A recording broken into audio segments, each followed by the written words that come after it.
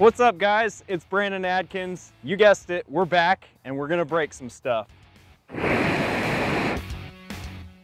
So for the first episode this season, we thought it'd be fun to use some impact. So we've got a leather stamp here. We've designed it so you can change out different logos. So we've got our company logo here.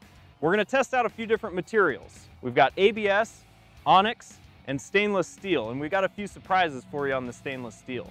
So first up, we're gonna try out the ABS insert. And we've got a little leather notebook. We're gonna try it out, see if we can hammer in the logo on that.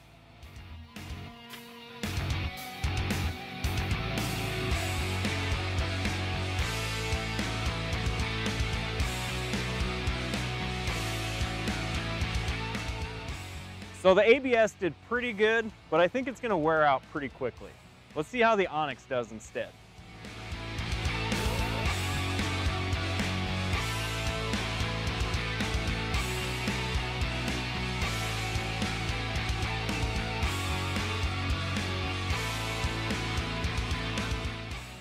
I'd say the Onyx did a pretty good job. It's gonna be a little bit more durable, but I'm interested to see what the stainless steel can do.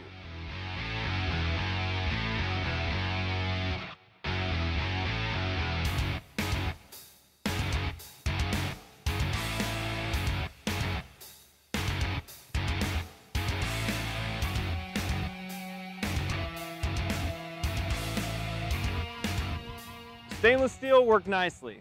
But it's not going to be break it with Brandon unless we add some firepower.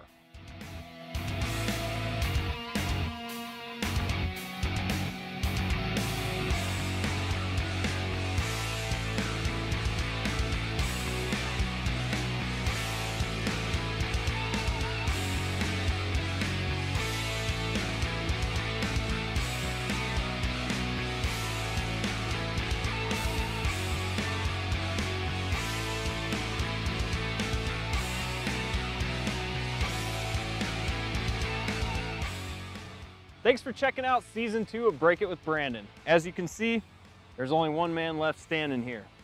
If you want to see how to make strong metal parts on a Markforged Metal X, give us a call today.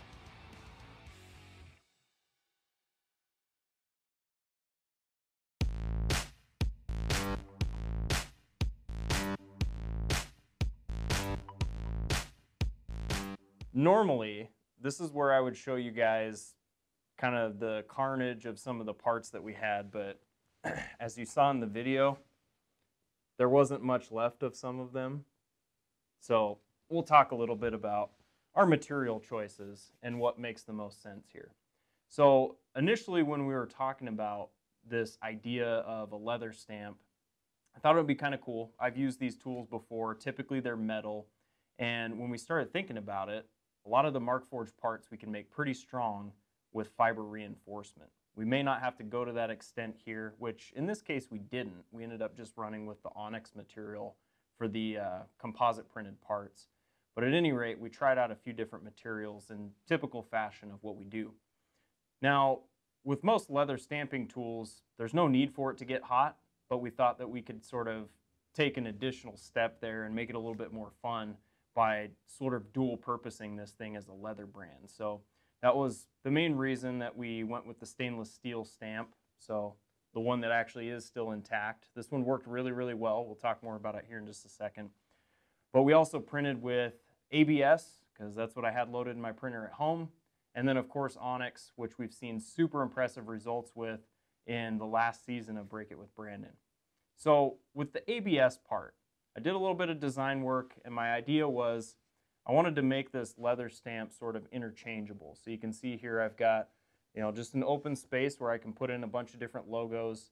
I chose Onyx for the uh, actual stamp body and then we just swap out the logos here. So pretty obvious choice. Onyx did a really great job, especially for the impact area. I was a little bit concerned about maybe some of these edges starting to break away from the impact, but overall it held up really well.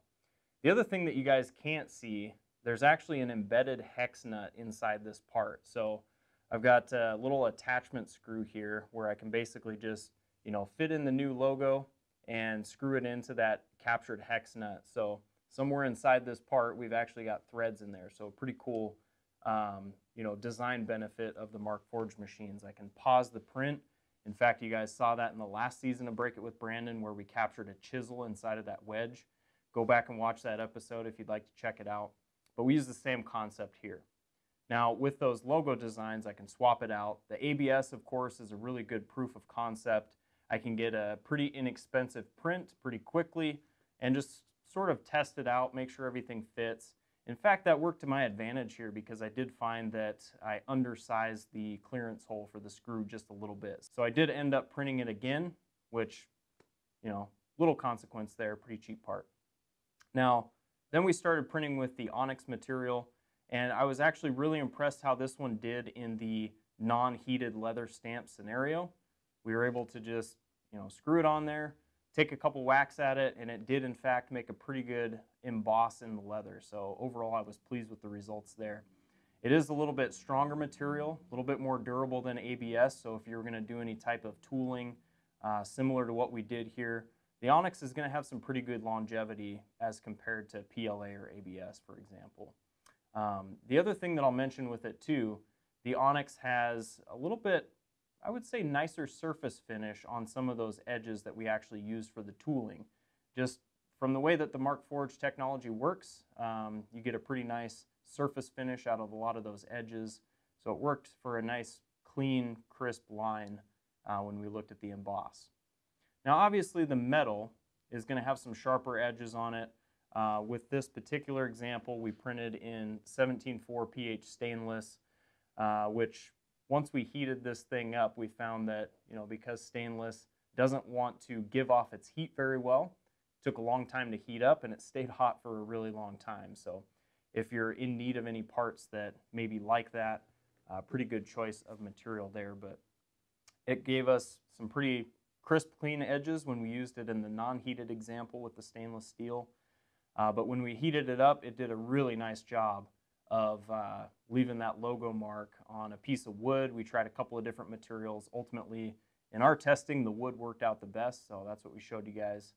Uh, but definitely a lot of fun with all these different examples. So Hopefully you can see some of the benefits there of different material types in our 3D printing applications. Obviously we've got more and more strength as we continue to build upon this and even more capabilities that we can take advantage of with parts like our stainless steel. So not only is it going to be much stronger than what we did with the plastic and composite materials, but it's going to have a lot of different, um, you know, open doors for use case scenarios, right? Maybe it's a heated type situation, uh, you guys can think about some different ways to leverage the metal 3D printing technology that's available on the Metal X. All right, so thanks again for joining us, guys. Hopefully you enjoyed this episode. Be sure to join us for the next one where we're going to test out some different designs for 3D printed pipe benders.